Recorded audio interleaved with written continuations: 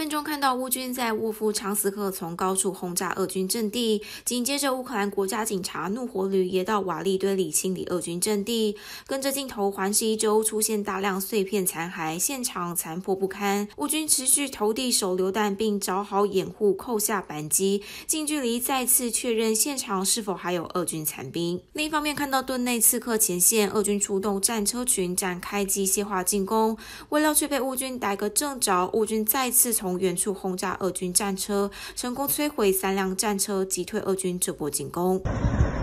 浓密黑烟不断窜升天际，画面中看到这座位于乌克兰敖德萨的连锁超市仓库陷入火海，货车不断窜出。俄罗斯这回祭出飞弹空袭，除了超市仓库起火燃烧，周围的住宅建筑也遭到破坏。而俄军这场行动也被视为报复手段。事实上，俄罗斯外交部昨天跳脚怒轰乌克兰二十三号用美制的飞弹袭击克里米亚，造成四人死亡，更警告美国要对此自负后果。不过，美国国务院发言人今天也。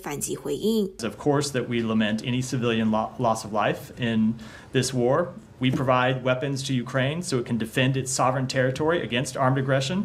Uh, that includes in Crimea, which of course is part of Ukraine. 强调军援乌克兰是为了让乌克兰捍卫领土主权。美国挺乌强硬表态，克里米亚本来就是乌克兰的一部分，回向俄罗斯非法并吞克里米亚。记者张文珍整理报道。